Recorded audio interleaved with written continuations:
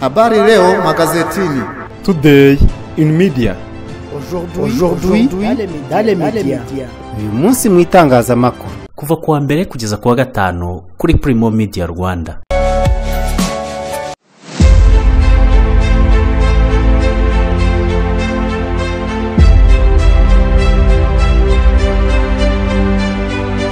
nongeye kubasuhuza ndabifuriza kugira ibyiza nshuti bakunzi ba Primo Media Rwanda. Abadepite baravuga ko umwuka mubi hagati y'u Rwanda na Kongo ushobora guteza intambara yeruye mu karere. Naho mu karere ka Rubavu b'abantu batatu barimo na gitifu w'umurenge bakekwagaho kurigisa umutwe w'umuntu bafunguwe. Ikinshasa aho abadepite barimo baramagana guverinoma nshya.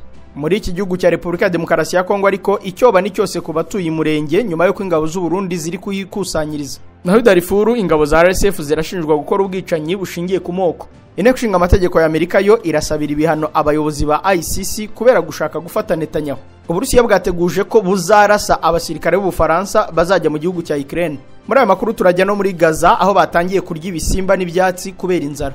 Ngizi ingingo zigize amakuru mugiye kugezwaho nanjye Jean Dodier Karinijabo turayarambura mu kanya. Mu ivuriro eva life nahivurije umwijima mpivuriza n'iby'amabanga y'abashakanye. Bankoraho riraka ni abahanga pe. Nyuma yo kugira ikibazo cy'imisemburo mike bandangiye ivuriro eva live ndarigana baramfasha icyo kibazo kirakemuka. Nyuma naje kujyana n'umubyeyi wanjye afite ikibazo cya hypertension ubu ngubu ni muzima. Nashishikariza abantu bafite ibibazo by'imisemburo bigatuma batabyara bigatuma imihango yabo itaza neza nk'uko bikwiye. Kuba mwagana ivuriro eva life bakabafasha murakoze cyane. Ivuriro eva life rikorera nyabugogo rimaze kuba ubukombe mu rwanda no hanze yarwo mu kuvura indwara bakoresheje imiti y'ibimera kandi itunganyijwe neza mu buryo bw'ibinini pudre cyangwa likide hari abadogiteri batandukanye bagufasha kandi icyiza ni uko aho waba uherereye hose ku isi imiti yakugeraho cyane ko bakorana na dhl mu ndwara bavura twavugamo nk'iz'imyororokere zose kurangiza vuba no kubura ubushake. Indwara zifata abadamu zose igwingira ry'igitsina indwara nk'umwijima diyabete amara igifu asima abifuza kuva ku biyobyabwenge nabo barabafasha. Ku bindi bisobanuro wahamagara cyangwa ukandikira muganga eva life icyizere cy'ubuzima.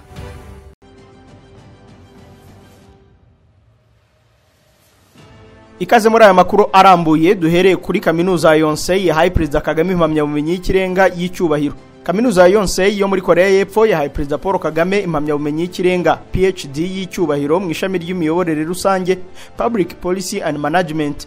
Yonsei University ni kaminuza ikomeye cyane kuko ari imwe muri eshatu zikomeye muri iki gihugu kimaze gutera imbere mu bukungu bushingiye ku bumenyi. Mu ijambo rye ubwo yahabwaga iyi mpamyabumenyi perezida Paul Kagame yagaragaje ko politike zigamije imicungire rusange n'imiyoborere ari ingenzi ku kugera ku iterambere rirambye. Yabanje gusubira mu mateka agaragaza uburyo igihe nk'iki mu myaka ishize mu Rwanda hari hari kuba jenoside yakorewe abatutsi yatewe n'ubuyobozi bubi bwaciyemo abaturage ibice. Ati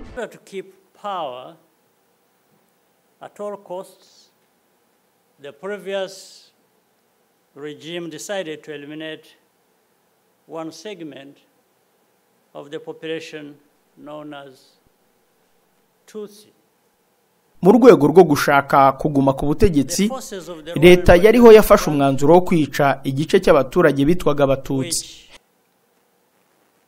I led, put a stop to the genocide ingabo za rpf nari nyoboye zahagaritse jenoside nyuma y'amezi atatu.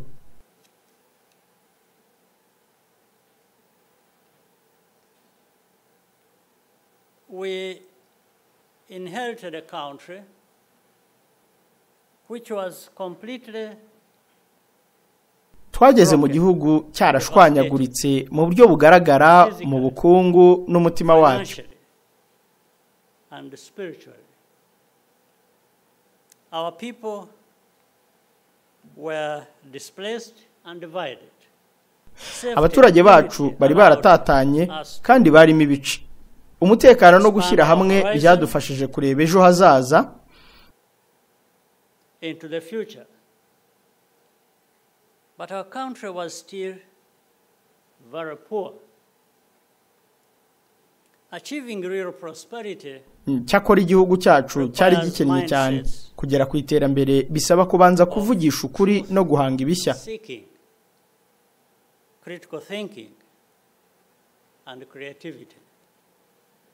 igihugu kandi gikenera guhabwa uburenganzira bwo kwigenera ejo hazaza kititaye ku gitutu n'uburyarya bw'umuryango mpuzamahanga. despite the pressures and hypocrisies twashyize imbere ikoranabuhanga no gukwirakwiza interinete ntabwo byavuzweho rumwe bigitangira. and technology access. Believe it or not, this was controversial at first. bamwe mu baterankunga batekereje ko ari ugupfusha ubusa amafaranga ko ahubwo twayakoresha ku byo abantu babona ibyo bakenera by'ibanze. Which would be better spent on basic needs. Today, Rwanda has the lowest mobile broadband costs in Africa. uyu munsi u rwanda rufite interineti ihendutse muri afurika amashuri yacu arimo interinete ndetse serivisi hafi ya zose za leta zitangwa hakoreshejwe urubuga irembo bimwe mu byo twafatanyaho harimo ubushakashatsi ubuvumbuzi mu bya siyansi no guhanahana ubumenyi mu rubyiruko rwacu. I fully expect the encounter between Rwanda and Yonsei University nizeye ko ubu bufatanye bw'u rwanda na kaminuza ya yonsei buzabyara umusaruro mu bihe biri imbere. Umuryango mugari wa kaminuza ya yonsei uhawe ikaze mu gihugu cyacu. member of the Yonsei community is most welcome in our country. Iyi kaminuza yashinzwe mu gihumbi magana inani mirongo inani na gatanu ikaba imaze gushinga ibigo by'ubushakashatsi bigera ku ijana na mirongo irindwi n'umunani mu nzego zitandukanye. Perezida kagame kandi yagiranye ibiganiro na profesa dong supiyon uyobora iyi kaminuza hamwe n'abarimu bayo baganira ku bufatanye hagati y'u rwanda n'iyi kaminuza ndetse no kongera umubare w'abanyeshuri b'abanyarwanda bahiga. Tugarutse hano mu rwanda abadepite ngo barabona ko umwuka mubi hagati y'u rwanda na kongo ushobora guteza intambara yeruye mu karere.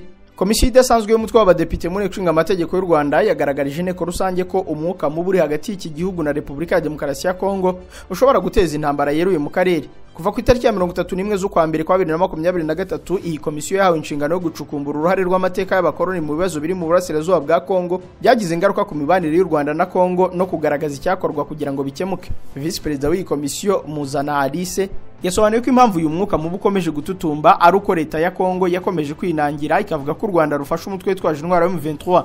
Nyamara rwo rubihakana kenshi. Yagize ati uyu mwuka mubi ushobora gukwira mu karere ukaba wanabyara intambara yeruye mu karere.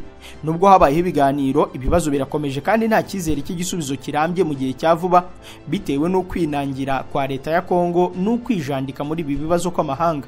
Uyu mudepite yagaragaje ko ibihugu birimo leta zunze ubumwe za amerika n'iby'uburayi ndetse n'uburundi ndetse n'imiryango mpuzamahanga biri gutiza umurindi ibi bibazo ahanini bigamije kurengera inyungu zabyo mu rwego rw'ubukungu. Yasobanuye ko leta ya kongo ikomeje kwifatanya n'umutwe wa fdlr n'indi iwukomokaho irimo cnrd na rudu runana iyisezeranya kuyifasha guhindura ubutegetsi bw'u rwanda nk'uko byigeze kuvugwa na perezida Tshisekedi.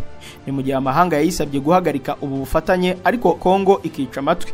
Iyi komisiyo yasanze nta mbaraga z'igisirikare zakemura ibi bibazo ahubwo ko hakenewe ibiganiro bihuza impande zihanganye. Yabonye ko kurandura imitwe nka fdlr kurandura umugambi wa jenoside n'ingengabitekerezo yayo muri kongo no gucyura impunzi z'abanyekongo ari byo byagikemura mu buryo burambye. Mbere yo kujya mu makuru avugwa mu turere reka duhere kuri rura yatangaje ibiciro bishya by'ibikomoka kuri peteroli. Ibiciro by'ibikomoka kuri peteroli mu rwanda byagabanutse aho guhera uyu munsi igiciro cya lisansi ari amafaranga igihumbi magana atandatu mirongo itandatu n'atatu y'u rwanda kivuye ku gihumbi magana arindwi mirongo itandatu n'ane mu mezi abiri ashize.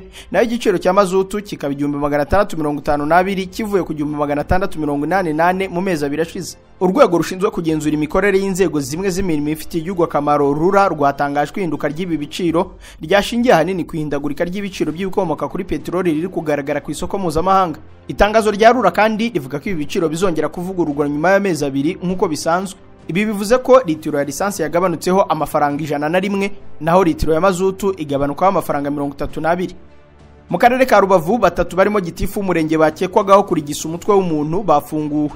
Urukiko rw'ibanze rwa gisenyi rwaraye rufunguye by'agateganyo barebereho nsengiyaremye emmanuel nzabahimana evariste na niyonkuru alexandre bakekwaho icyaha cyo kuzimiza cyangwa gutesha agaciro ibimenyetso cyangwa amakuru yerekeye jenoside. Urukiko rwemeje ko ibyagezweho n'iperereza ry'ubushinjacyaha bidahagije kandi ko nta mpamvu ikomeye irimo yatuma abakekwaho icyaha bakomeza gufungwa. Rwategetse ko barebereho nsengiyumve manuel nzabahimana evariste na niyo nkuru alexandre bafungurwa by'agateganyo iperereza rigakomeza bari hanze. Ikinyamakuru bwiza cyanditse ko gifite amakuru ko ubwo abo batatu bafungwaga ari bwo umukuru w'umudugudu na ndimubanzi emmanuel bakunze kwita murokore nabo bafungwaga kuri iki cyaha. Mbarushimana gerard perezida wa ibuka mu karere ka rubavu avuga ko ku itariki ya gatanu z'ukwa kane ari bwo habonetse umutwe w'umuntu ahubakwaga urupangu. Ubuyobozi bw'umudugudu burawutwara ariko nyuma uza kuburirwa irengero. Perezida wa ibuka akomeza avuga ko uyu mutwe ukimara kuboneka urwego rw'akagari rwihereranya aya makuru ibyo bafata nko guhisha ibimenyetso. Mu murenge wa cyanzarwe ni hamwe kandi mu habaye indiri y'abacengezi mu mwaka w'igihumbi magana cyenda mirongo icyenda na karindwi n'icyenda n'umunani ari na cyo bamwe mu batuye muri uyu murenge basaba ko iperereza ryimbitse ryakorwa kuri uyu mubiri hakamenyekana niba ari uwazize jenoside yakorewe abatutsi cyangwa ari uwazize intambara y'abacengezi. Abantu bataramenyekana bigabije urwibutso rwa jenoside yakorewe abatutsi ruri Charleroi mu bubirigi bararwangiza. Bafashe irangi ry'icyatsi kibisi barisiga ku magambo yo kwibuka ari ku kirahure kiri kuri uru rwibutso. Uru rwibutso rwerekanwe muri gicurasi bibiri na cumi na karindwi. Icyo gihe hari hari abahagarariye ibuka abahagarariye ambasade y'u rwanda mu bubirigi abayobozi b'umujyi wa Charleroi ndetse n'abandi. Mu kwezi kwa gatanu kwa buri mwaka ni bwo abarokotse jenoside yakorewe abatutsi bo muri uyu mujyi bibuka. Ikinyamakuru igihe cyanditse ko mu buryo budasanzwe kandi bubabaje ku wa mbere ku itariki ya gatatu z'uku kwezi kwa gatandatu abarokotse jenoside yo muri uyu mujyi batunguwe kandi bababazwa no gusanga amagambo yanditse kuri uru rwibutso yasizwe irangi ry'icyatsi. Uko bigaragara abayasize iri rangi ngo bashakaga gutanga ubutumwa bw'uko batishimiye ibyanditseho. Abarokotse jenoside yo muri Charleroi bandikiye ubuyobozi bw'uyu mujyi babusaba gukora iperereza risesuye ku bakoze ibi bintu. Ubuyobozi bwabasubije ko ugiye gukomeza gukurikirana iby'iyi dosiye ibi bikozwe nyuma y'igihe gito hari inkuru bise ko ari iz'uruhererekane zasohorewe mu bubirigi zisebya ubutegetsi bw'u rwanda zivuga ko buniga itangazamakuru kandi bugahiga buri wese mu batavuga rumwe nabwo icyakora ntiharamenyekana niba bangije uru rwibutso rwa jenoside yakorewe abatutsi hari aho bahuriye n'abakoze ziriya nkuru. Muri iyi minsi ariko biragaragara ko ububirigi butabanye neza n'u rwanda kuko baherutse no kwanga ambasaderi Vincent Karega u Rwanda rwe rwagennye kugira ngo aruhagarare muri icyo gihugu. Ububirigi ni cyo gihugu gituwe n'abanyarwanda benshi baba mu mahanga kuko bagera ku bantu ibihumbi mirongo ine. Hari abakomeje kwitwaza amatora bagatekera abaturage imitwe. Komisiyo y'igihugu y'amatora yanyomoje amakuru yavugaga ko hari urubuga ruri kwifashishwa mu kwinjiza abantu mu kazi bazakoreshwa mu matora ya perezida wa repubulika n'ay'abadepite ateganyijwe mu kwezi gutaha. Komisiyo y'amatora yanyujije ubu butumwa ku rukuta rwa x yamagana uru rubuga bayitiriye. Ubutumwa bwa komisiyo y'amatora bugira buti komisiyo y'igihugu y'amatora iraburira abanyarwanda ko hari ubutumwa bw'ikinyoma burimo gukwirakwizwa ku mbuga nkoranyambaga buvuga ko hafunguwe poto isaba kwinjiza abakozi ba ad hoc mu matora ateganyijwe mu bibiri na makumyabiri na kane. Nimusura urwo rubuga ni ikinyoma. Abahanze uru rubuga barukoze nk'urwa komisiyo y'igihugu y'amatora ndetse bakoresha n'amazina yayo aho barwise nek akadomo gov akadomo rwa. Ubu buriganya buje nyuma y'uko komisiyo y'igihugu y'amatora irangije igikorwa cyo kwakira abifuza kuzaba abakandida bahatana mu matora y'umukuru w'igihugu ndetse n'abazahatanira imyanya mu nteko ishinga amategeko. Mu makuru avuga hanze y'u rwanda abadepite bamaganye guverinoma nshya i kinshasa. Bamwe mu badepite bo muri repubulika ya demokarasi ya kongo batangiye kwamagana guverinoma nshya iherutse gushyirwaho na minisitiri w'intebe judith minwa turuka iyi guverinoma igizwe n'abaminisitiri mirongo itanu na bane ikaba yaragaragayemo impinduka ugereranyije n'iyari isanzweho. Kuko hahinduwe abarimo minisitiri w'ingabo minisitiri w'ububanyi n'amahanga minisitiri w'umutekano w'imbere uw'ubukungu uw'imari na minisitiri w'ubutabera. Aba badepite batangarije radiyo kapi ko ubwo suminwa yashyiragaho abagize iyi guverinoma yarenze ku biteganywa n'ingingo ya mirongo icyenda y'itegeko nshinga rya repubulika ya demokarasi ya kongo. Kuko hari ibice by'igihugu yabogamiyemo cyane mu gihe nka maniyema nta muntu n'umwe ifite uyihagarariye. Basobanuye kandi ko iyi guverinoma idashingiye ku bwumvikane bw'imitwe ya politike aho buri wose wagombaga guhagararirwa. Ikibazo gikomeye aba badepite bagaragaje kiri muri iyi guverinoma ni uko hari imitwe ya politiki ifite ubwiganze mu mutwe w'abadepite yabuze umwanya byibuze umwe muri guverinoma. Icyo bifuza ni uko hasubikwa igikorwa cyo kurahiza abagize guverinoma nshya giteganyijwe ku itariki ya cumi na gatanu z'uku kwezi hakongera kubaho igikorwa cyo kubatoranya. Aha muri repubulika ya demokarasi ya kongo ngo icyoba ni cyose ku batuye umurenge nyuma y'uko ingabo z'u Burundi ziri kuhisukiranya. Muri kivu y'amajyepfo mu gace ka murenge haravugwa ko abasirikare benshi b'u Burundi barimo kwisukiranya mu duce dutandukanye two muri ibi bice bityo bikaba bibateye ubwoba. Aba basirikare bavugwa ni abibumbiye mu itsinda rya tafok bivugwa ko bava i burundi bakajya uvira bakahavanwa bajyanwa mu bice by'umurenge.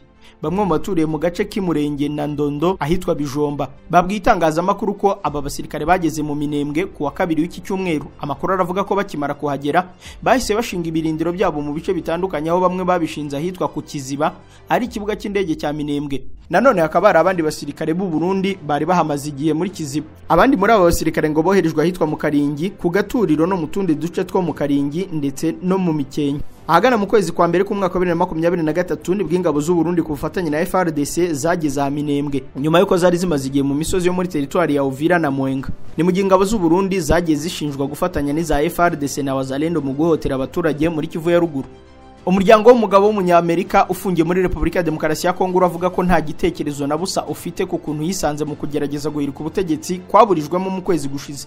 Tyler thompson w'imyaka makumyabiri n'umwe ubusanzwe utuye muri leta ya utah muri leta z'ubumwe za amerika ni bwo bwa mbere yari akoreye urugendo hanze ya amerika ari kumwe n'inshuti ye marcel malanga umuhungu wa christian malanga watangajwe ko ari we wari uyoboye igerageza ryo guhirika ubutegetsi bwa cisekedi abakekwa mirongo itanu barimo abanyamerika batatu.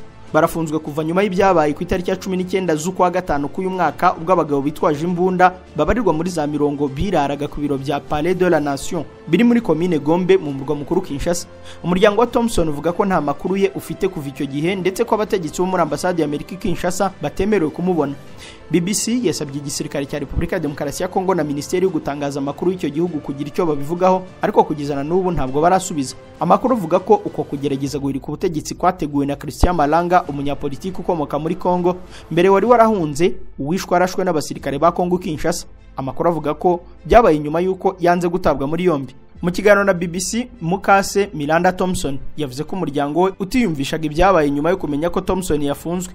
Ati nta gitekerezo na busa dufite cy'ukuntu yisanze hariya muri kongo twarumiwe neza neza ku bijyanye n'ibyari birimo kuba n'ibyo tutazi. Ikintu cyose twamenyaga ni cyo twabonaga kuri google. Miranda thompson yavuze ko umuryango we utazi uko umuhungu wabo thompson ubusanzwe ukora muri kampani y'ubwubatsi muri leta ya utah yisanze muri kudeta yaburijwemo muri kongo uyu mubyeyi yavuze ko umuhungu wabo yahawe ubutumire na marcel bwo gukorana urugendo n'umuryango wa malanga bakajya muri repubulika ya demokarasi ya kongo marcel malanga yavukiye muri amerika ndetse nawe ni umunyamerika. Daniel gonzalez inshuti ya tyler thompson na marcel malanga yabwiye ibiro ntaramakuru associated press ko tyler thompson yari yemerewe amadolari ya amerika ari hagati y'ibihumbi mirongo itanu ni miliyoni mirongo itandatu n'enye z'amanyarwanda n'ibihumbi ijana ni miliyoni zirenga ijana na makumyabiri n'icyenda z'amafaranga y'u rwanda kugira ngo akore akazi ko gucunga umutekano wa christian malanga.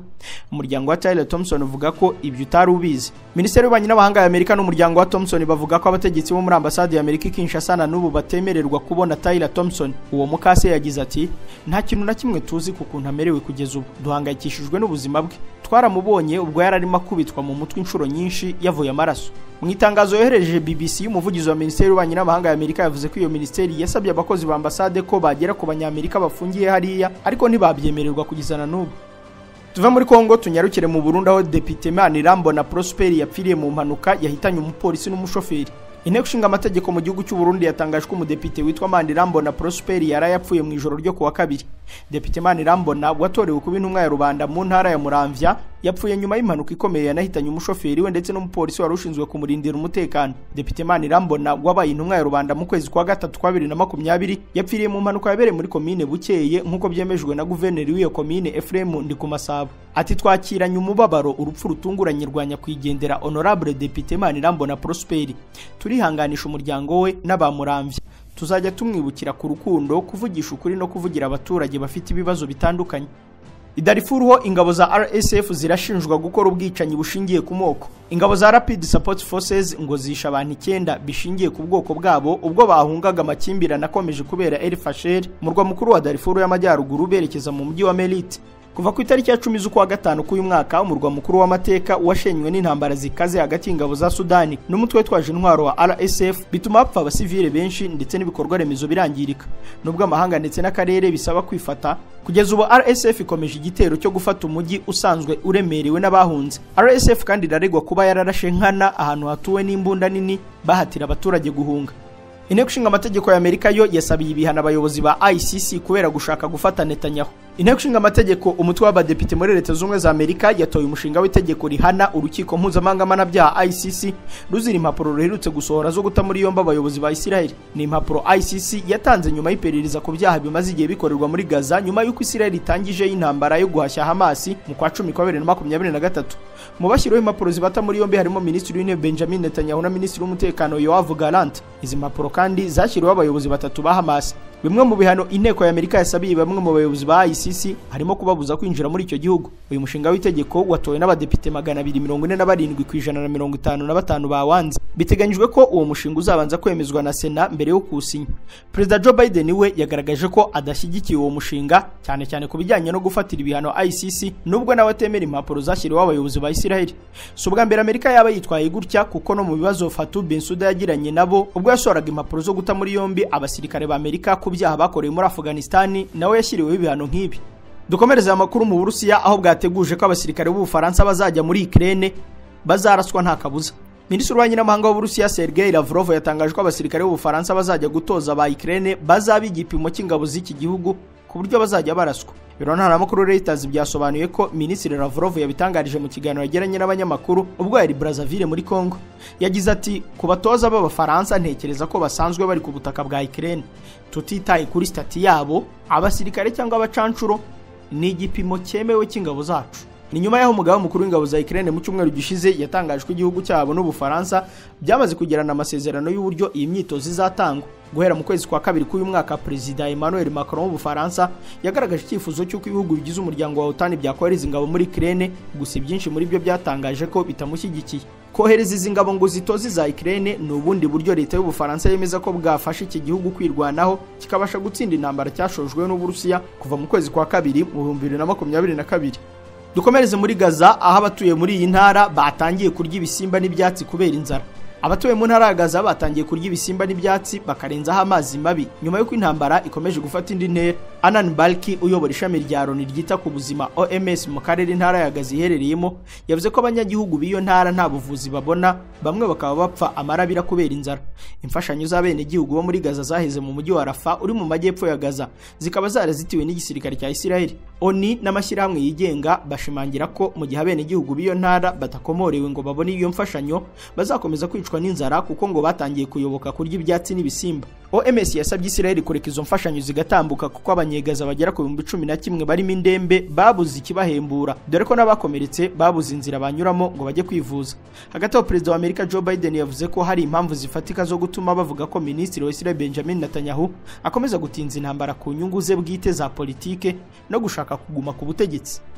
Naho Ukraine irasaba umudendezo wo kugaba ibitero. Perezida wa Ukraine Volodymyr Zelensky yavuze inshuro nyinshi ko inzira imwe yo kurangiza intambara ari ugukoresha intwaro ziva mu burengerazuba bw'isi zifite ubushobozi bwo kurasa mu ntera ndende. Mu cyumweru gishize nyuma yo gukuraho igice cy'uko leta z'ubumwe za Amerika zabuzaga intwaro zimwe na zimwe zahawe Kiev Washington yahaye Ukraine uruhushya rwo gukoresha ibikoresho yahawe kugira ngo igabe ibitero bya gisirikare ku butaka bw'Uburusiya mu rwego rwo gushyira ingufu nyinshi za gisirikare muri Ukraine kugira ngo ishobore guhashya ibitero byagabwe mu karere ka Kharkiv mu majyaruguru y'Iburasirazuba.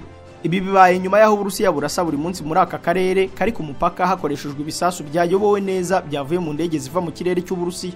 Minisitiri w'ububanyi n'amahanga ya Ukraine Dimitri Kuleba yagize ati uburenganzira duhawe ntabwo ari uburenganzira bw'ijana ku ijana. Hari amategeko agomba kubahirizwa tuzakomeza gukorana n'abafatanyabikorwa bacu mu kwagura ibikorwa by'amategeko agomba kubahirizwa. Naho Turikiya isanzwe iri muri OTAN yagaragaje ubushake bwo kujya muri BRICS. Minisitiri w'ububanyi n'amahanga wa Turikiya isanzwe ari umunyamuryango wa OTAN Hakan Fidan yatangaje ko ifite gahunda yo kuganira ku kuba umunyamuryango wa BRICS mu nama izabera mu Burusiya. Uyu mudiplomate mukuru wa Turikiya Hakan Fidan yatangaje ko igihugu cye gishaka kwinjira mu itsinda ry'ibihugu bya BRICS kandi ko gifite intego yo kuzana ubu busabe mu nama y'ubukungu izahuza abaminisitiri w'ububanyi n'amahanga mu Burusiya Fidan aganira n'abanyamakuru bwari mu ruzinduko rw'iminsi itatu mu Bushinwa yavuze ko igihugu cye kirimo gutekereza BRICS nk'urundi rwego rwo kwishyira hamwe. Ati ntidushobora kwirengagiza BRICS nk'urubuga rukomeye rw'ubufatanye itanga umurongo n'amahitamo meza ku bindi bihugu. Avuga ko nubwo iryo tsinda ryifite inzira ndende Ankara iribonamo ubushobozi. Uyu munsi umuryango wa BRICS ugizwe n'ibihugu cumi na kimwe bifite abagera kuri mirongo ine na ijana by'abatuye isi yose. Ndetse ingano y'ibikomoka kuri peteroli ibyo bihugu bishyira ku isoko mpuzamahanga irangana na mirongo ine na ijana by'icuruzwa yose ku isi. Moscow yishimiye ubushake bwa Ankara bwo kwinjira muri BRICS. Dmitry Peskov uvugira guverinoma y'Uburusiya yatangaje ko ingingo yo kuba Turikiya yaba umunyamuryango wa BRICS izagaragara ku murongo w'ibyigwa mu nama izaba mu cyumweru gitaha. Mu cyumweru gishize minisitiri w'ububanyi n'amahanga w'Uburusiya Sergei Lavrov yavuze ko imiryango ya BRICS yugururiwe abahagarariye gahunda zitandukanye z'ubukungu na politike zitandukanye. Lavrov avuga ko icyangombwa cyo kwinjira muri iri tsinda ari ukwiyemeza gukora hashingiwe ku ihame ry'ibanze ry'uburinganire bw'ibihugu. Muri Mexique umuyobozi w'umujyi yishwe arashwe. Abantu bitwaje intwaro bishe umuyobozi w'umujyi w'umugore muri Mexique nyuma y'amasaha make iki gihugu kiri mu birori by'intsinzi ya Claudia Sheinbaum nk'umugore wa mbere watorewe kuyobora iki gihugu. Yolanda Sanchez yarasiwe mu mujyi wa Cotija yarabereye umuyobozi kuva mu kwezi kwa cyenda kwa bibiri na makumyabiri na gatatu akaba ari nawe wabaye umugore wa mbere watorewe uwo mwanya. Ibikorwa by'ubugizi bwa nabi ku banyapolitike byatambamiye cyane amatora rusange yo muri Mexique. Amatora yagize umwihariko wo kugaragaramo abakandida babiri b'abagore ku mwanya w'umukuru w'igihugu. Yolanda Sanchez yaguye mu gico cy'abantu bitwaje intwaro rwagati mu mujyi wa Cotija araraswa bimuviramo gupfa. Ibinyamakuru by'imbere mu gihugu biravuga ko yarashwe inshuro cumi n'icyenda ashiramo umwuka ageze kwa muganga uwamurindaga nawe akaba yaguye muri icyo gitero.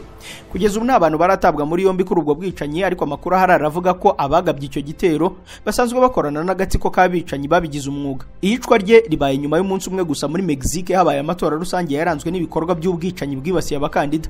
Abantu barenga makumyabiri mu biyamamazaga barishwe kuva mu kwezi kwa cyenda nk'uko imibare itangwa n'ubuyobozi ibivuga ariko imibare itangwa n'inzego zigenga ikavuga ko abishwe babarirwa muri mirongo ine. Amatora y'umukuru w'igihugu muri Mexique yegukanywe na Claudia Sheinbaum uzarahira ku itariki ya mbere z'ukwezi kwa cumi nka perezida wa mbere w'umugore ugiye kuyobora iki gihugu. Nshuti abakunzi ba Primo Media Rwanda iyi nkuru y'urupfu rw'uyu muyobozi w'umujyi wa Mexique niyo dusorejeho aya makuru reka mbashimire kuba mwari muyakurikiye ni make mu makuru menshi aba yavuzwe none mu binyamakuru n'ibitangazamakuru. Mwagezwaga nanjye Jean Dodier Kaninijabo bye.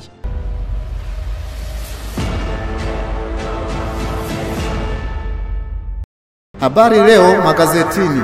Today in media. Aujourd'hui dans les médias. uyu munsi mu itangazamakuru kuva ku wa mbere kugeza ku wa gatanu kuri Primo Media Rwanda